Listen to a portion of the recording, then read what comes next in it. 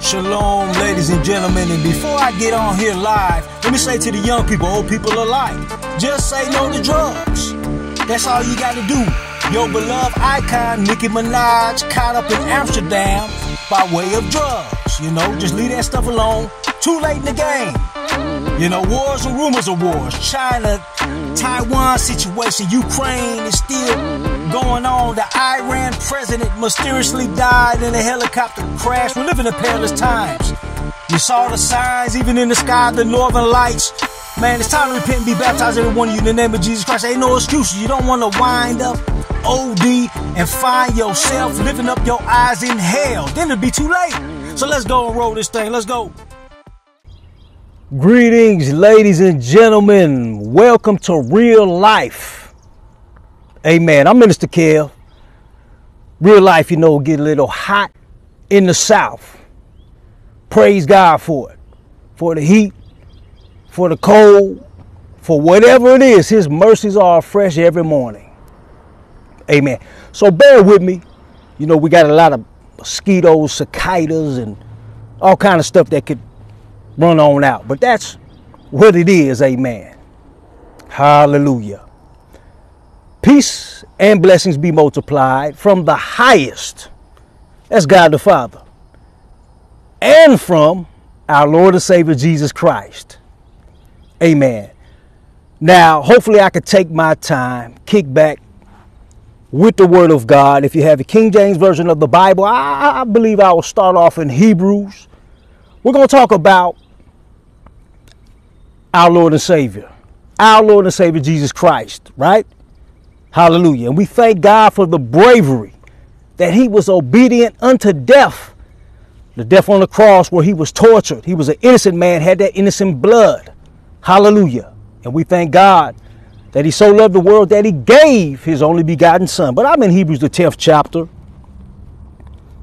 We're going to let the Bible speak a little bit and see how this goes. Amen. Hebrews, the 10th chapter. And let's start at verse number 4. It says, For it is not possible that the blood of bulls and of goats should take away sins. That's right. So the ultimate sacrifice, the sacrificial lamb was Jesus Christ. For it says it wasn't possible that the blood of, uh, you know, goats and, and, and, calves and what have you, know, the Old Testament, the Levit- Levitical priest, sacrificing animals, right?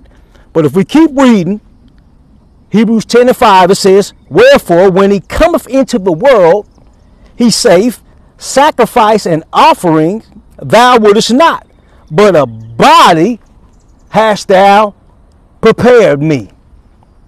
You see that? But a body, see, the body was made. Hallelujah. Now, it, it was never about the sacrificing of animals, but it was about obedience. Amen. So it says here, but a body hast thou prepared me. So that was the body, the natural body. This is talking about the natural body of our Lord and Savior Jesus Christ. The natural body. There was a natural body and there's a spiritual body. Now, I believe that Jesus Christ existed, of course, before he came in that natural body. Of course, the word of God tells us over there in John, in the beginning was the word. And the word was with God, and the word was God. The same was in the beginning with God.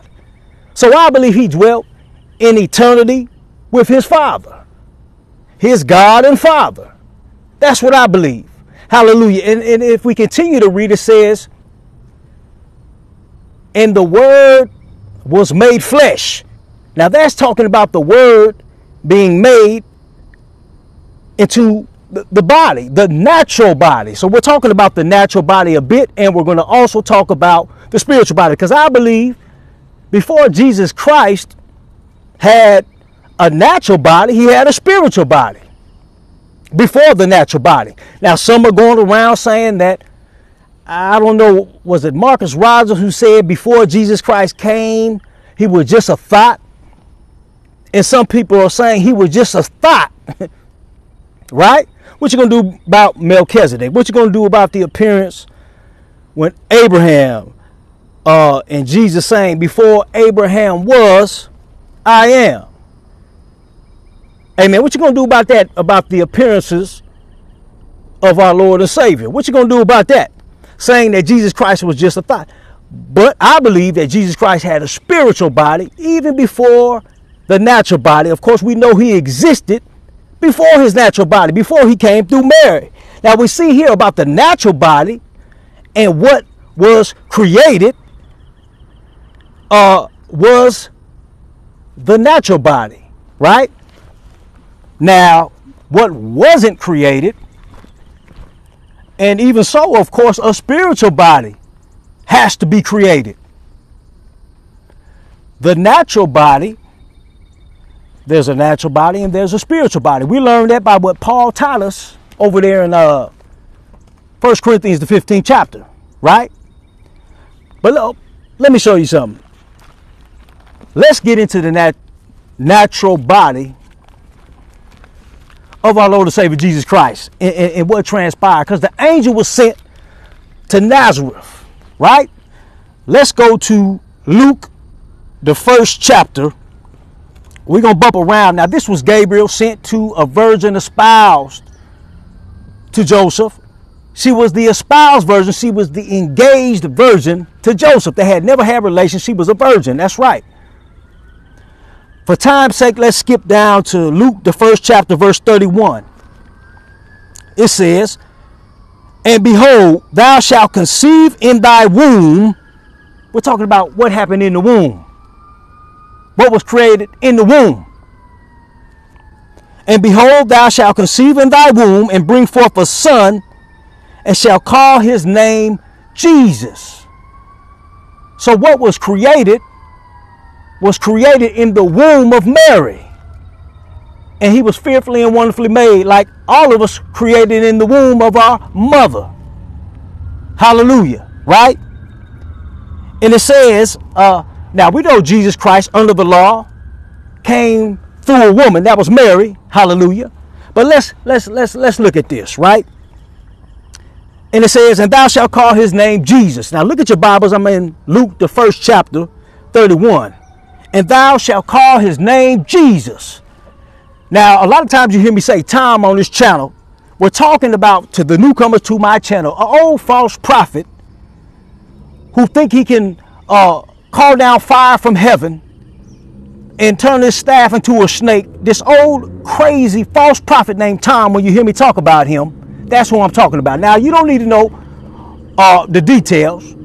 Just follow me, right? So now we have a false prophet who uh, believes that John the Baptist is Elijah. So there wasn't two persons created. There was just one. And that was Elijah who uh, came by way of John the Baptist. But he don't understand and he can't even discern the word of God that it was John the Baptist who came in the spirit and the power of Elijah. See, when Elijah died, or excuse me, he didn't die, he was uh, he went up into heaven, right?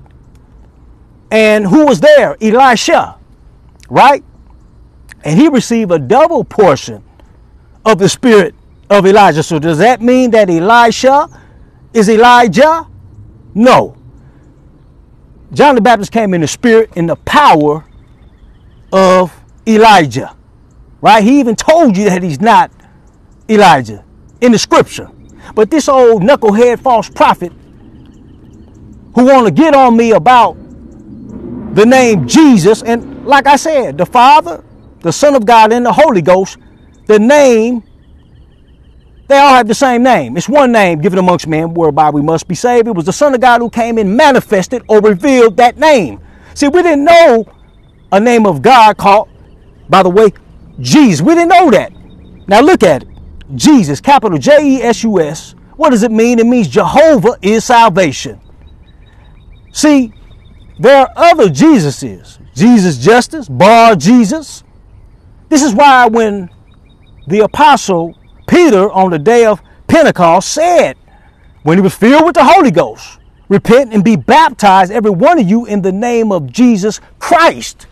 Now that's the title along with the name that I'm showing you right here, given by Gabriel, by God, of course, sent Gabriel, and the name given was one name, which means Jehovah is salvation, Jesus. But keep in mind that there's other Jesus. So when you say Jesus Christ, you're saying it all. It's the same way that the only way a man can be baptized to make it official is you're saying the Lord Jesus. When you say the Lord Jesus, you know that's talking about the Son of God, the Son of Man, Jesus Christ. There's only one. Or if you say Jesus Christ, we know that's talking about the Son of God or the Lord Jesus because it was the Son of God who died. So you're putting that distinction on that one name. And that one name is Jesus. And I believe it is the name of the Father, the Son of God, and the Holy Ghost. But I only use for the Son of God, I only use Jesus Christ, right? Because the Son of God is the Messiah. The Son of God is God's anointed, and he was anointed by his Father.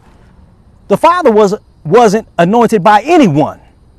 So you can clearly see in Luke, the first chapter, thou shalt call his name Jesus. Now, what that means is uh, Jehovah is salvation. Now, let's look at Jehovah, right?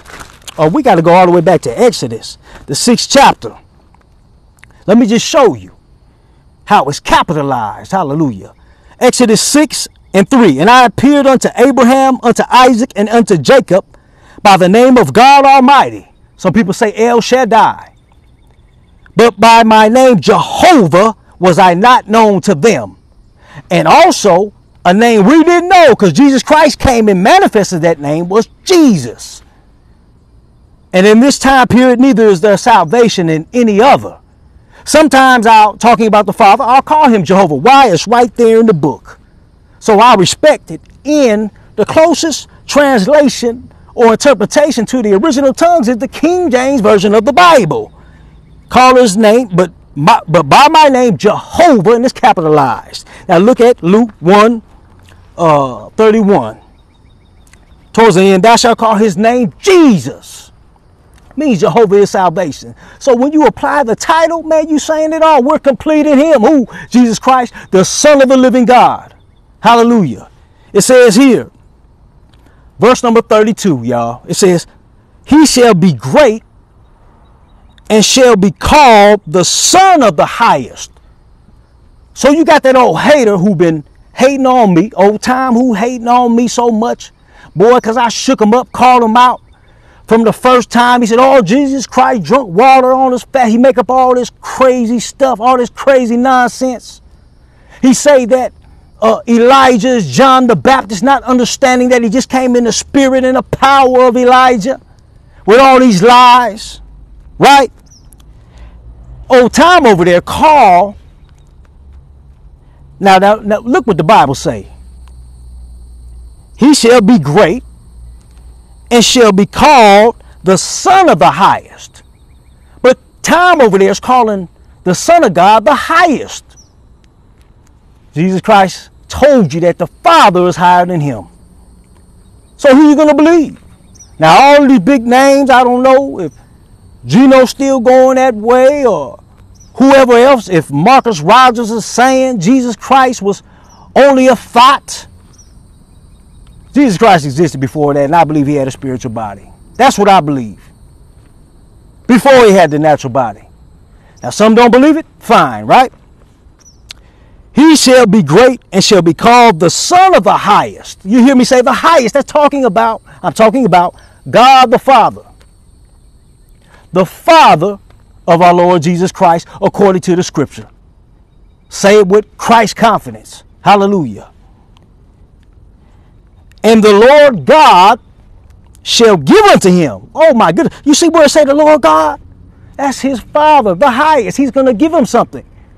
He gave him a name, which is above every name. That at the name of Jesus, every knee shall bow. So we see God the Father, the highest, and we see the Son of God, who's the Son of the highest what was created. Because Jesus Christ is called the beginning of the creation of God, right?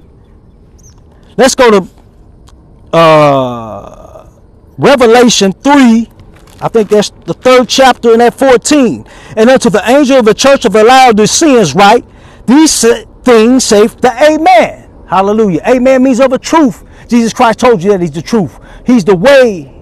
He's the door. He's the good shepherd. Hallelujah. He's the bishop of your soul. Hallelujah. It says here, these things saith the Amen, the faithful and true witness, the beginning of the creation of God. Now we're talking about the first thing brought forth from the Father was the one who proceeded forth and came from. And we know even the natural body, we know that was created. A body thou hast prepared me, it was prepared. Hallelujah. But one thing, because he's called the beginning of the creation of God. So are we saying that's the first thing that God created? I don't see why not, but I'm going to tell you that the Spirit of Jesus Christ was never created. What was created was the body. That's what I'm saying. So when I say the beginning of the creation of God, I know what I'm saying. Because we look, even so, when Jesus Christ came and was made in the womb of Mary, the natural body, because he came through a woman. Let's look. Uh, I'm back in Luke 1. Let's start at 35. And the angel answered and said unto her, The Holy Ghost shall come upon thee, and the power of the highest shall overshadow thee. Wait a minute. The Holy Ghost and the power of the highest? Well, the power of the highest is the Holy Ghost. The power of the highest is the Spirit of Jesus Christ. The Holy Ghost is the Spirit of Jesus Christ. That was never created. What was created in the womb of Mary is the body, of course, the natural body. Amen. Now, before that, in eternity, what was brought forth? Still, uh, Jesus Christ tell you that he proceeded forth and came from God. Hallelujah, right? We're still focusing on the natural body though. It says, in the power of the highest, I'm in Luke 1 35, in the power of the highest shall overshadow thee. That's the Spirit of Jesus Christ still, right? I say the Spirit of Jesus Christ is the Holy Ghost. You got old knucklehead over there saying, well, you got to admit that Jesus Christ is the Holy Ghost. Well, make it where people could understand Jesus Christ himself is not the Holy Ghost with the body, but his spirit is. There's a difference between flesh and spirit. There's a difference between a body and spirit. A spiritual body, there's substance with that, right? Therefore, also that holy thing. You see the substance? You see the thing? That holy thing was the body that was formed in the womb. The spirit of Jesus Christ was never formed in the womb. So what was formed was the body. The power of the highest shall overshadow thee. Therefore also that holy thing, that's talking about that body. Amen. That was created. Hallelujah. Well, he is the beginning of the creation of God, but even before he came through Mary. But we're talking and focusing on the natural body right now. Right? That holy thing which shall be born of thee shall be called the Son of God. So what was created? The body. Therefore has to have prepared a body for me because he didn't desire the, the blood of animals. Amen. So he sent his only begotten son so the gene on them, uh, the Father didn't send himself, and the Father didn't raise himself from the dead. Got old knucklehead over there, old hater Tom, who say stuff like that, right? But anyway, just to break a few things down, I want to get on here. I'm a little uh, late start today. This is real life in the elements. I'm Minister Kev. Until the next time, y'all be blessed.